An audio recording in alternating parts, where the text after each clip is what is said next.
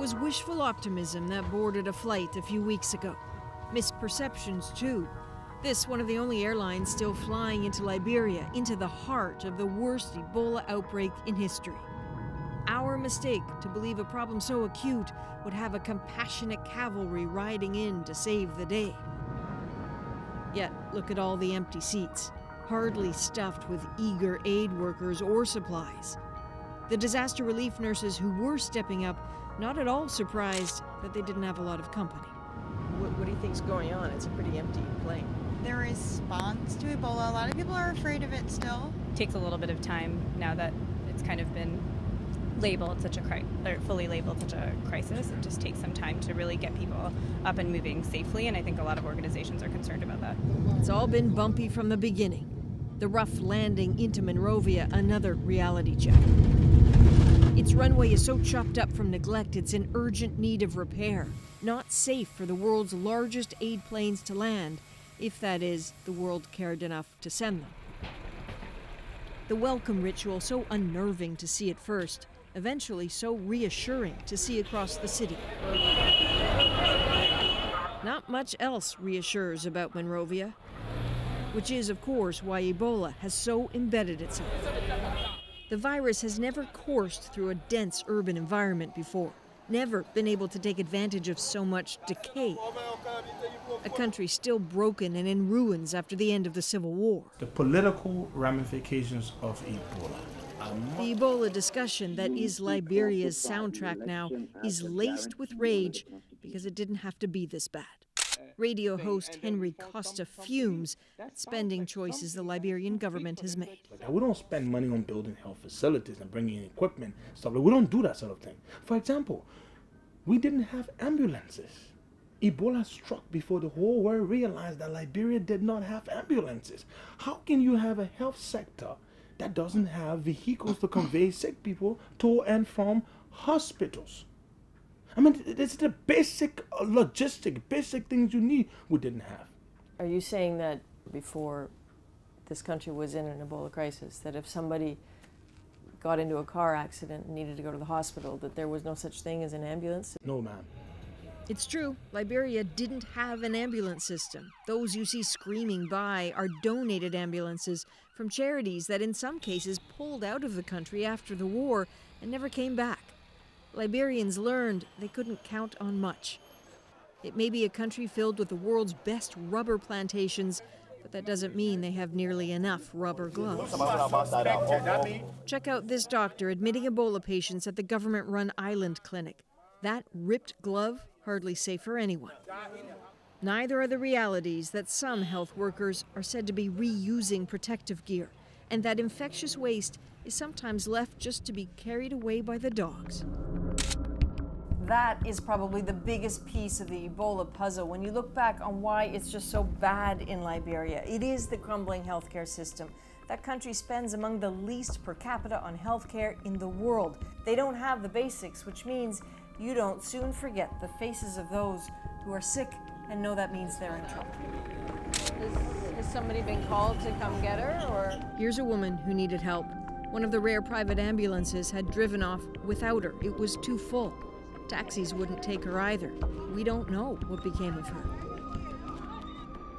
And even though we've since tried, we don't know what became of DeConti Howard either. There she was outside the gates of the JFK Ebola treatment ward. Impossible not to be drawn in by that long stare or the fact that she seemed in pain, clutching her breast. She's not well, she's sick. Seems she'd brought her Ebola racked one year old here the day before and didn't know what to do. Was potentially sick herself. She desperately needed to feed her daughter, but couldn't get to the baby now behind the gates. She was alone. Well, you just call her and tell her. Even those supposed to be in the know are alone, feel they have to fend for themselves. That, how do I get a treatment? Peering through the gate into a yard filled with Ebola patients was a man hoping he wasn't about to become one. His name is Alex Gaban. He's a nurse whose partner on the same shift had just contracted the virus. He was flat out terrified he was somehow sick too, just wanted to know if he could get a test. I don't want to even go home. Who's at home? Do you have a family Yeah, I have a family. I have a fiancée that is pregnant. Yes. Have you told them? No, I'm not. I'm not. I'm not to her. He stood there for nearly an hour waiting to get someone's attention. It's been a few weeks since we met Alex Gaban, and we've checked in, and he's healthy, which means he's lucky because the statistics in Liberia are stark. Consider that when we first arrived, there were 3,400 cases of Ebola. That number has now jumped to 4,400 cases. It's a conservative estimate because, frankly, people are getting sick faster than anyone can count. They're certainly getting sick faster than anyone can help them.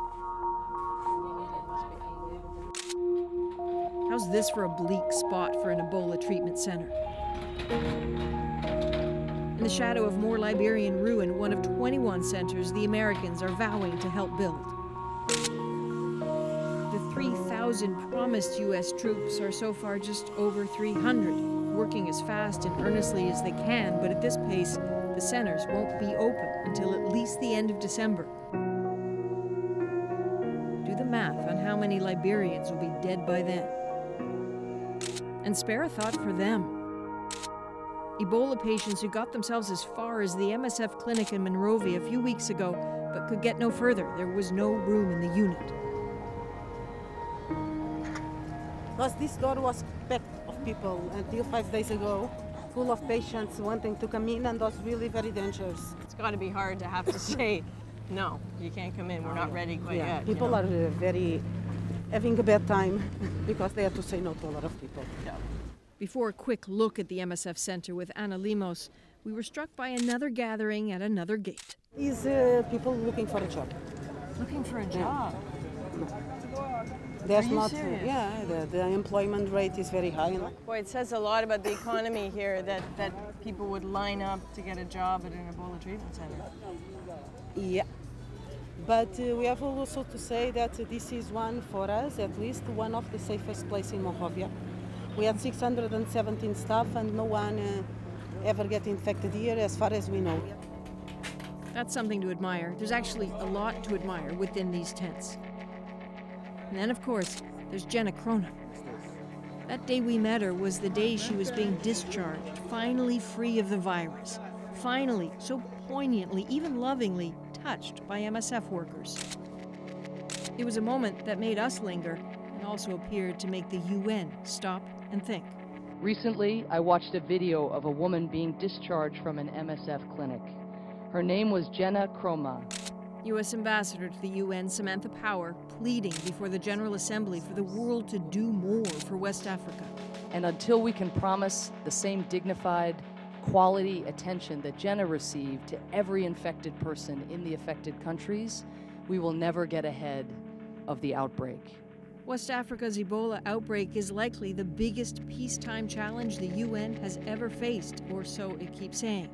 All that talk while countries rot. Adrienne Arsenault, CBC News, Toronto.